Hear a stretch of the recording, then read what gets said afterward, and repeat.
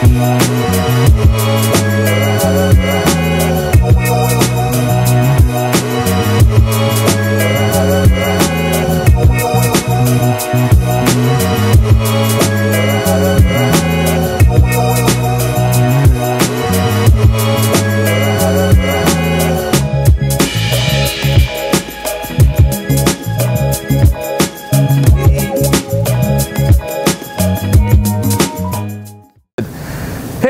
I'm Neil Mylet and uh, thanks for watching this content series we're putting together. We've been producing some videos over the last few, few months, I guess, about entrepreneurship and life on the farm and how I'm kind of using my story and my narrative to kind of bring people together and help unify the, uh, the rural community in terms of ag and technology and innovation.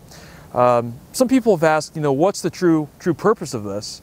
And you know, we haven't been doing videos very consistently, sometimes maybe just once a month or less.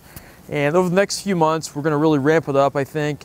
I've got a couple great guys helping me. Uh, Andrew, uh, you know, why don't you show a picture of yourself? You know, turn the camera around. Turn the camera around. Turn the camera around. There's, there's Andrew, and uh, he's, uh, you probably can't hear him. Andrew, I'm gonna give you the mic, and uh, you just start talking about yourself. Actually, I'll, uh, I'll flip it around here for you. We'll try to do an improv interview of, of you. Talk about me. Yeah, tell your story Um, real fast. All right, I went to school for engineering, decided that I hated it, was failing classes, so I switched to film. Um, I haven't really been able to do a whole lot with that yet because since I switched majors, I didn't get a lot of time to really make content, and people don't feel like I have as much experience as they want to hire me. So I'm out here with Neil to get some more experience, I guess. That's me. Awesome, awesome. Yeah, as you can see, we're out here on the farm today. Um, you know, we've been doing some tile work, which um, is kind of dirty. Um, so gotta get this back in there. But yeah, that's a that's a. You can tell I'm real experienced with microphones, can't you? Uh, so anyway, we're gonna be putting some content together. You know, last summer I was very fortunate to welcome so many wonderful people to the farm. We had visitors from Africa, Absolutely. And this We'll is the the best part. we I said this is the best part since I've been here. Yes, Yes. like Yeah. the best Yeah. day so far in Mandela Washington Fellowship Yeah. experience. Absolutely. This is awesome. and you have Tanzania, Botswana, Nigeria, Nigeria and and Mauritius. like Yeah. three, four different countries here. And I won't be surprised in the next five, ten years, and the four of us are really making waves in our country, and we have to give the thanks back to God and to you, To you for having us. having for us. hosting us. I mean, this is so generous. So, so, so, generous. so generous. Uh, we've had visitors from all over the world here, and you know, the more I travel, the more I speak with young entrepreneurs, the more they want to see behind the scenes of what it's like to to do something new and innovative. Oh, you guys want on too? Everybody get in here. All right, all right, all right, all right. Let me in here. This is, um, This is great. I don't know if the camera can fit us all in. He's not. He don't have. you know, over the next few months, we'll be doing all sorts of stuff, showing, you know, our experiences. And the objective is to show the raw, true behind the scenes, what it's like to be a rural entrepreneur. And unfortunately, I think what happens is, especially when it comes to innovating new technologies, um, a lot of young people think just because they don't live in the big city and because they don't have a chance to experience the narrative that maybe your more mainstream entrepreneurs have, that they can't do it themselves. And look at me, you know, I haven't had a shower today. I'm all dirty. You know, I look like a like I'm, you know, just just out here doing doing manual labor, but that's good because when you live in the reality of what it is you're trying to accomplish and you know, living the reality of how people who are going to be using your products or services live, you're in such a wonderful position to bring about more innovative change and, uh, and, and truly make a difference. And that's kind of the being a farmer, that's the narrative I live. And I want to kind of show that, but also show how we're working hard to, you know, bring about new technologies and new initiatives which inspire people and bring, bring positive change. So, uh, yeah, this is kind of the first official vlog uh, that we're doing. Um, and we're going to be doing, I think, a lot more uh, consistency. I've, I've, I've got another guy named Sam who's going to be helping us. Video, video.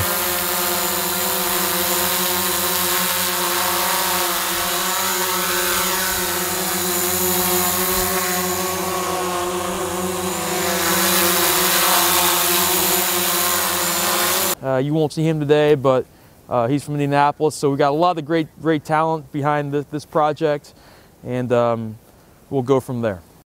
All right, so we're driving out to the uh, where we're doing some tile work. Um, the guys been working on this this morning, we're going to check out the progress they've made. But uh, as you can see, a lot of these fields, it's rough. By the way, this is not Andrew. He's a much better camera guy than this, but I'm testing him. You know, seeing how good he can do with all the motion. But uh, anyway, a lot of these fields we have are pretty wet naturally, and we got to put in drainage tile, which helps uh, the plants when they're growing, because obviously, unless you're growing rice, you don't want to be having puddles of water everywhere. And uh, on one of these, this this particular field, uh, some of the old drainage tile from the probably the 1930s, 1940s, which was clay, has started to decompose and become brittle, which then makes it fail. When it fails, we get big puddles out here, which uh, doesn't do much for the crops. So we're gonna go take a look at, at that.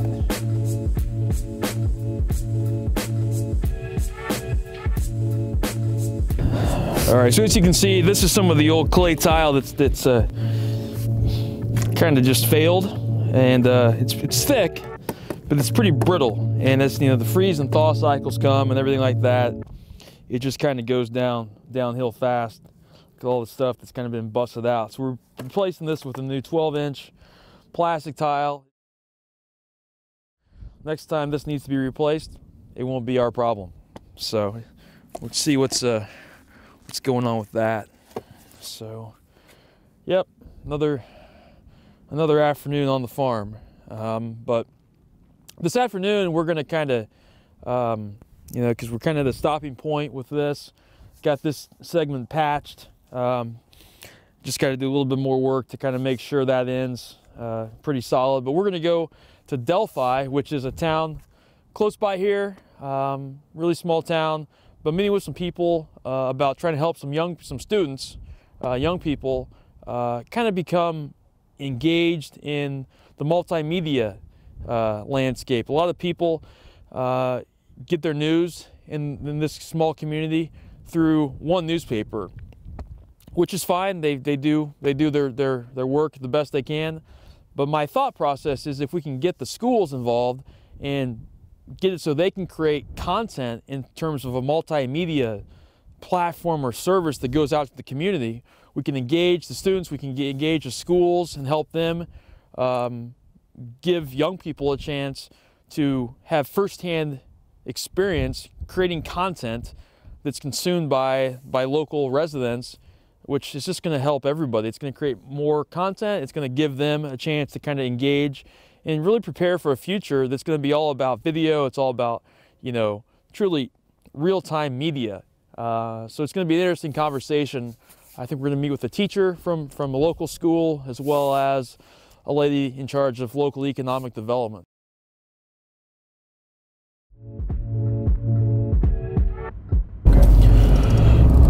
All right, so we're back here at the farm. Uh, I'm gonna take a quick shower and get cleaned up.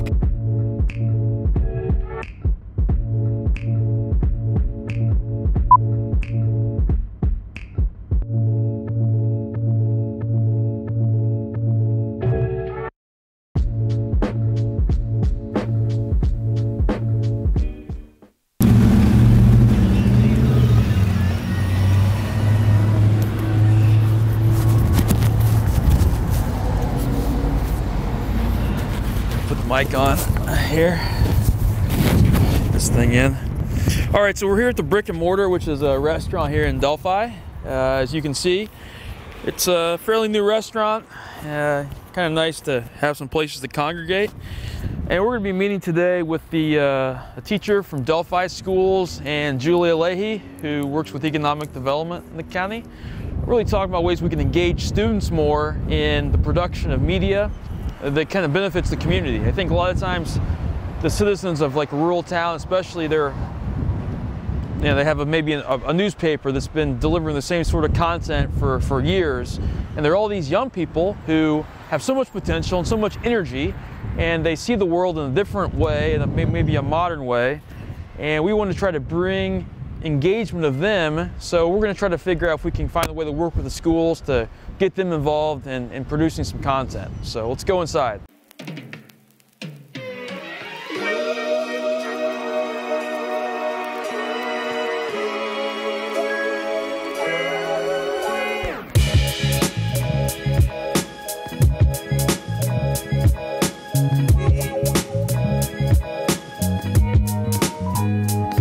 So we started. This is Julia Leahy. Julia, say Hey. hi. And who are you? Hi there, I'm Amy Tatsoni. Hey, pleasure to meet you. Pleasure to meet you. So So, yeah. great to meet you guys, and come on in. Should we? Yeah, this is basically I have hired two or three video guys to follow me around, and they document my interaction relative to the farm, my travels, Okay. entrepreneurship. Oh, so basically, it's just a daily video blog Video. Okay. that documents entrepreneurship in a rural community Okay. in action. Okay. So these are the same guys that are going to start videoing the rural start oh, stuff. good. So all the role models we feature, Yeah. they're going to do that. No, that, that's a fun You know, so I finally put in, you know, it's, it's taken a long time to first of all find people like Andrew, and I have another friend named Sam who's from Indianapolis, Okay. who's at South by Southwest this week. okay. But we have to show people the true substance of, you know, when you're living in a small town, you know, you can do, I think, substantial things. Oh, sure. It just takes a little bit more effort and planning. Uh, you know, right people like Andrew yeah. have to drive an hour to the farm, uh, you know, 35 minutes. yeah. So, you know, I think being able to show this, Okay. the, the, the nuts and bolts that go into bringing these programs to life, okay. I think is going to be really, really empowering Okay. to, Good. to other people. So, well, Julie, why don't you talk more about what you're doing with this this Okay. this this board? How would you describe it? Well, so the Carroll County Chamber, we've been around about 11 years, and there used to be a leadership program, and that kind of went away just recently. Um, and it's been a good couple, three years, and so we need that. We're missing that. We're not developing our leaders. And I've always wanted to get involved with youth leadership. And so when we were able to get our 501c3 and start this foundation, that opens up doors for us to um, find new partners and get some grants. I'm hopeful, and so we started the foundation. It's called it's so it's FIVE five. It's Foundation Inspiring Vision and Entrepreneurs, and the board consists of Neil Mylet. So Neil is. Uh, Neil's kind of a visionary all on his own, you know. Yeah, I think I should pay you to, to make me feel good. Oh, please. You know? But then we also have Superintendent Briles, Mr. Briles, and we have um, my board president, which is Rex Millhouse, and then our treasurer is Heather Hoover, and then she brought in Jacqueline. I Can't remember Jacqueline's last name. She's at Security Federal, Right. We- She was at that meeting we had, the lunchtime Yes, meeting. yes. Yeah, yeah. and she she's really active with. Um, I believe it was the Latino Mm-hmm. Association. She organizes that big event down at Purdue. And then she also goes to, was it the Toastmasters, I the forget Optimist all. Club? The She's Optimist very Club. active, though. Anyway, Very active. She's very young and she's Yep. excited about working and Yep. doing some things for kids. So we kind of brainstormed, and one of the ideas that came out of it was um, how can we share positive news that's happening in Carroll County to help us grow our community and um, have an impact on economic development? Because the news that is coming out of um, locally, shall we say, is rather negative and one-sided and we thought the kids have a voice Right. why not start something called the student voice or whatever we want to do so Yeah, something to really Yeah. let the, the, the modern reality of media, which, you know, traditional media is dying. Yeah. And I think small communities is a perfect example of that. Where, you know, five, ten years from now, will these papers and will these, in some cases, radio stations even be alive? Probably not. You know, at least they won't be reaching the demographic that's currently, you know, actively working in them.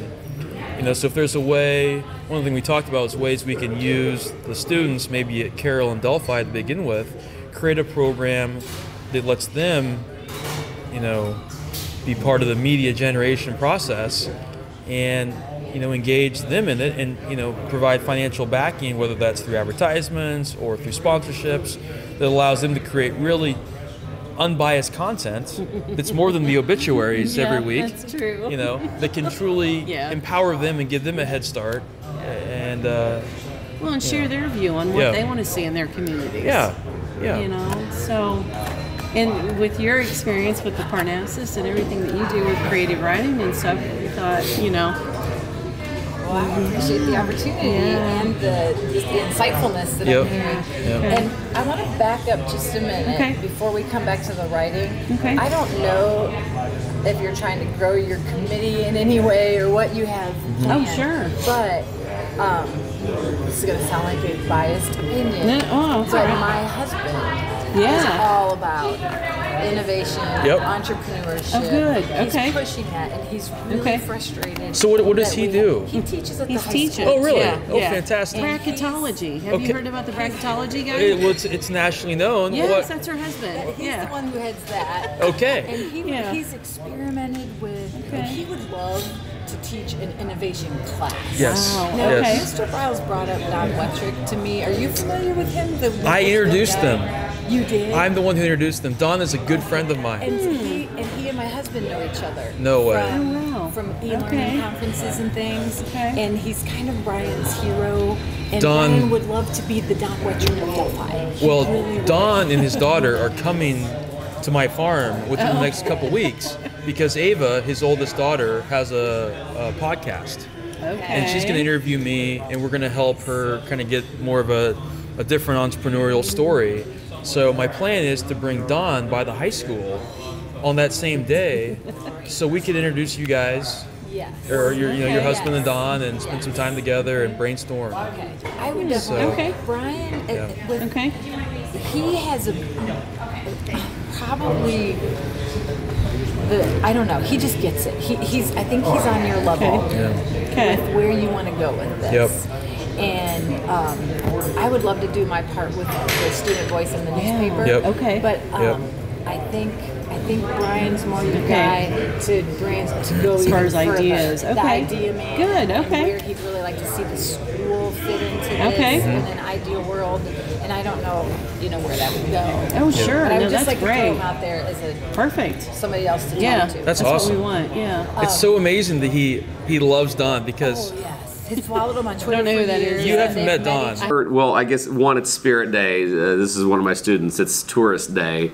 I didn't wear my tourist Hawaiian shirt, but uh, one of the things that they came to me with, they had an idea, and and I started. I, I want to start sharing what our students are working on, and they had a kind of a cool idea, and this is called the pivot. And we had a discussion today on one of the fastest growing segments uh, of need in our population, that is baby boomers, and we're just kind of talking about baby boomers in general. I haven't met But Don. Don is. Okay. I, I met him because we spoke together at Purdue last fall. Okay. And the moment I met him, I was like, if, if there was a Don in every school across America, Okay. just think about the impact it'd have on the kids. Huh. Okay.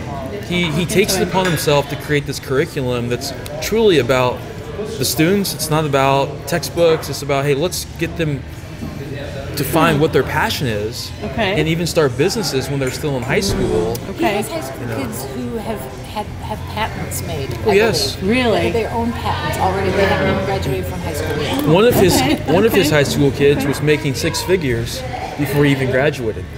Okay. You know, some, some truly inspiring stories, Yeah, but it's all neat. you know. Okay. He, he he helps them. He encourages them. He's Huh. he's so empathetic, and he's he's just a phenomenal guy.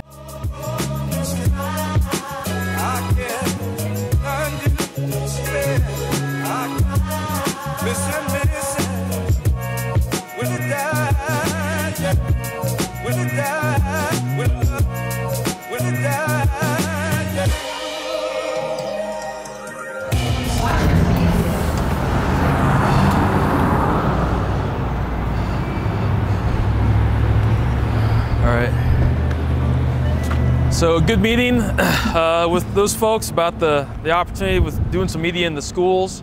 It's going to be an exciting project. We didn't film the whole thing because we're still planning it out. Want to keep some of it somewhat under wraps, but um, yeah, we're going to engage students and I think get them an opportunity to really be part of this new media landscape and create some content that allows uh, older generations to really um, you know respect them. So All right, let's go to Lafayette now.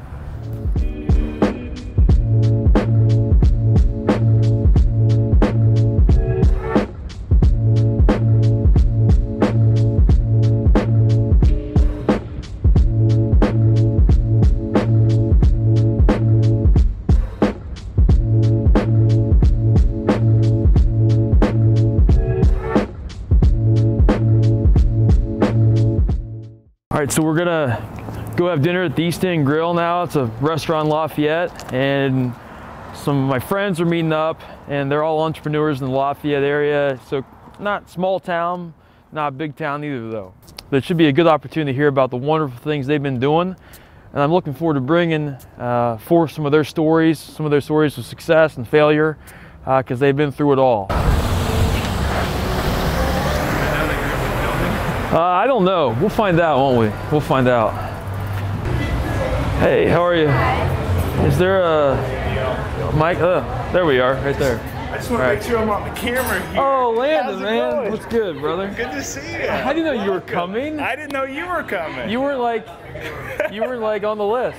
I was not on the list. I I didn't see the RSVP nor Oh. did I oh. see the Facebook post. That's Here, cool. Here, you we can pull some chairs. squeeze in there. Yeah. We got a chair here. Okay. I'm gonna. I'm, I'm cold, so I'm gonna sit here. How's it going, Good to see you, man. Good to see you. Suit over here and do like a cross shot. Well, we got to get you guys some of your guys' stories tonight.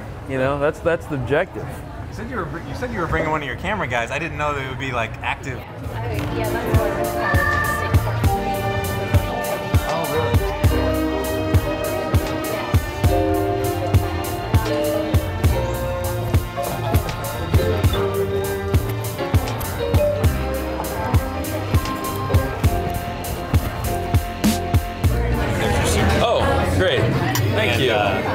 was like fine, a fine. They were fine events, but I basically was sitting there. I'm like, it was supposed to be for business owners and like help and support and like that. And like everybody that was there, nobody was a business owner. Really? I'm like, it was all great people, some people with some knowledge and expertise, but I'm like, which is cool. I'm not actually talking with anybody that's actually doing it. Yeah. It's either support people, which again are fine and have their role, or people that like want to do it, but it, some of them like, you've been wanting to start a business for like three years, like you're just never gonna do it, right? You know. And so I was like, where? How can I get people? So that was the idea with the dollar was, you have a dollar of equity, so you're an owner. You have a dollar of revenue. You actually sold something to a customer, and they've given you money, right? Like maybe even more money than you wanted, right? or you thought you could ever get. Magic. Magic, right? And you know, some kind of dollar of payroll. You're paying yourself. You're paying somebody. You're paying somebody else. You know, you've got some expenses and stuff like that. So, so yeah. No, I really don't have hopes for this to become a, anything more than a few, a few people. Meet some new people, make some connections with people. There's no, I have no goals. I just eat dinner. I love whenever it got brought up uh, at that event. Oh, at Foundry. And someone got shut down. So one of the well, you guys, Tim Peoples, who's a great guy. I really Oh, I love respect him. I really respect him. But yeah, Paul called me out. Uh, he was like up on stage with Tim, or up at front at the front of Foundry with Tim, and, and called me out of this idea. And I'm like, well, crap, now I got to do it. Yeah. And Tim, in the supportive way that Tim is, said like, great, sign me up, I'll be there. And Paul turned and looked at him and goes, you can't come. because Tim doesn't own a business, right? Like he works at the foundry. He doesn't own the foundry. He's not really responsible for its longevity and its existence and its being, right? He's like, you can't come. I'm like, that's kind of my point. Yeah.